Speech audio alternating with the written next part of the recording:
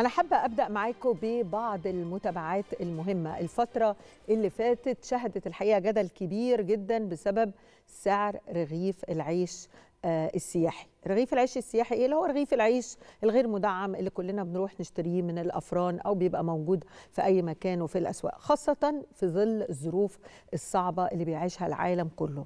أعتقد حضراتكم بتتابعوا كل يوم سواء من نشرات الأخبار أو من الجرائد أو من أي حاجة كمية الأخبار اللي موجودة والخاصة بالحرب الأوكرانية الروسية. وطبعا ده مش بس في مصر ولكن على نطاق العالم كله.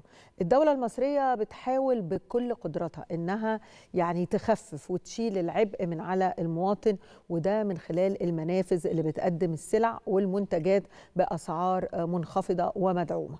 وكمان الحقيقة ما ننساش قرار السيد الرئيس عبد الفتاح السيسي بتسعير رغيف العيش. والحقيقة إحنا كلنا محتاجين لهذا التسعير علشان يبقى فيه انضباط.